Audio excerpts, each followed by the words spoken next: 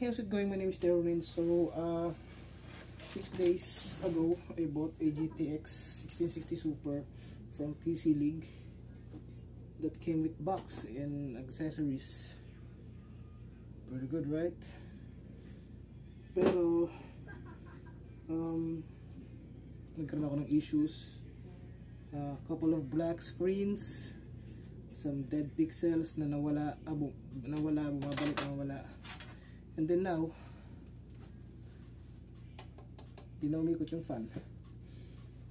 Well, at least nasa warranty period pa siya. So, I asked the seller for what are the actions to take.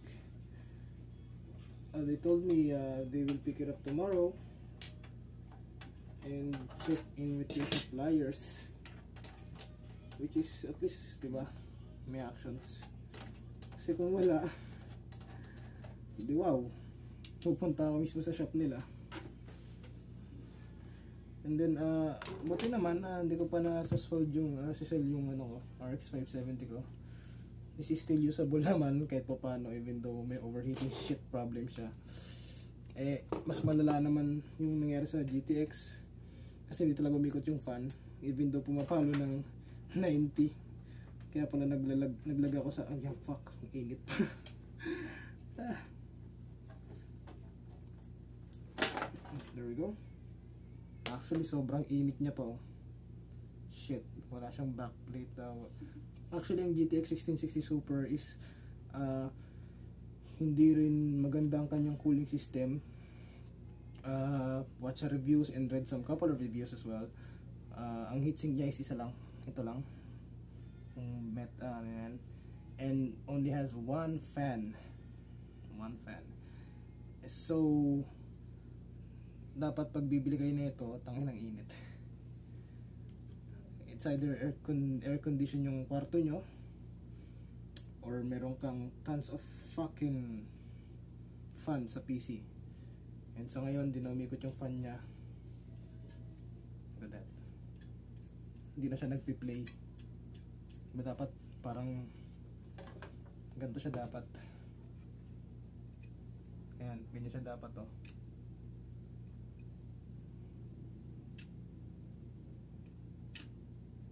Ito.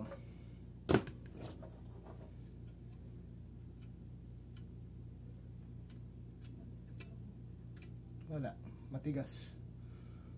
so that is a uh, a problem obviously. Kasi hindi na siya nag on. So let me just quickly uh, recalibrate. Recalibrate? May uh, old RX 570 here. Hindi maayos yung pagkakalagay ng tornilyo so to just do quick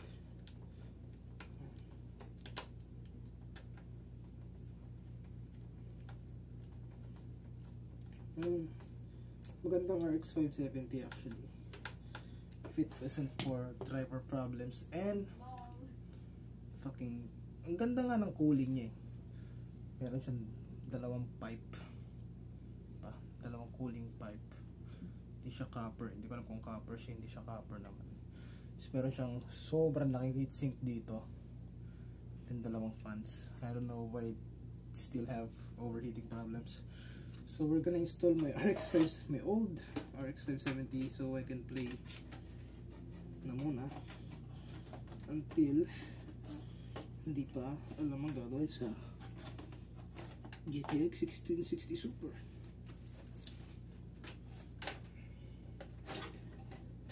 Just plug this in real quick.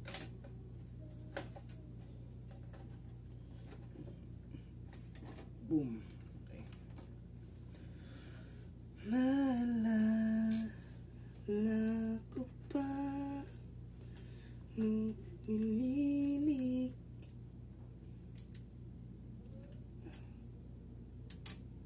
There we go. Added the screws. Oh fuck. Don't fuck with me now.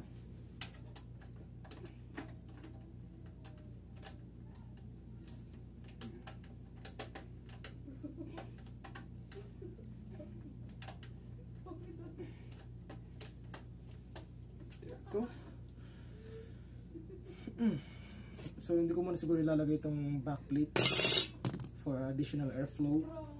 And ito, you, Mr. is going back in the box. Because you have some issues need to be checked. So para naman magmukhang presentable yung babalik nating GPU kay PC Dig, uh, lagyan natin ng ganyan. Wala akong ginawa dito, like totally fucking wala. Just plug it in, started streaming, and after while I'm streaming, it happened, nagkaroon siya ng mga ng mga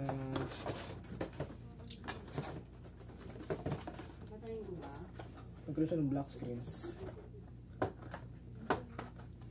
so yun. Sadly it was not meant to be for you and me. I'm so sorry. Ito yung warranty niya. From PCB uh, I'm gonna make an update if ever uh, if ever na ano yung sasabihin ni PC Dig and yung actions. So when buying GTA uh, when buying some uh, second hand used graphics card make sure meron kayong uh, warranty sa seller. Or most likely mas maganda sa shop kayo bumili sa shop ng second hands kasi ako bumibili ako second hands itong RX 570 ko second hand to uh, been using it for 4 years. Uh, ngayon yun lang ako binibigo nagkakaroon na siya ng overheating problems. Medyo tumatanda na siya. Boss I'm tired sabi niya ba and then uh, second syempre mas maganda may box diba we're, look, we're looking for future proofing kasi magbibenta ka ng isang bagay mas mamahal ang value pag may box di ba? And then tanong nyo rin si seller kung saan galing to if it is used for mining. Used for mining is uh, hindi naman problema yan they usually undervolt it so it can uh, last longer. Kasi itong RX 570 ko alam ko mining card din to but it lasted me 4 years before it gave out. Not actually gave out. Showing some signs most probably. And oh fuck. Hindi ko pa nasaksak yung 18 Molex so and then um warranty make sure na oh hindi kasi most likely sa mga second hand video cards na void na yung sticker probably nabuksan na nila. Well I asked PC League if nabuksan na nila yung card. They said yes because they had to repaste it. So despite with all of that repasting mayroon pa rin siyang heating, may heating problems pala yung GTX 1660 Super Phoenix Asus. Do not buy them. Uh, experience it first hand here in Tyronex channel. And uh, una hindi ako niniwala kasi sabi iniisip ko nasa tao na lang yan depende na lang paano mo alagaan. Putang ina paano mo alagaan? It's been only like 6 fucking days before I got it. Fans already gave out. But then shit happens. Maybe I, get, I just got a bad batch. Or maybe effective product uh, if they are willing to I would like to like replace it with something new.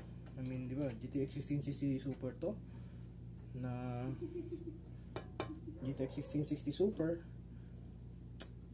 uh, pwede akong uh, mag-Asus stuff to GTX 1660 Super or Galax. Galax is, mo, is uh, most trustworthy. Or maybe if they are willing RX 2060 RTX 2060 I'd be willing to add some 2k probably. Just give it to me.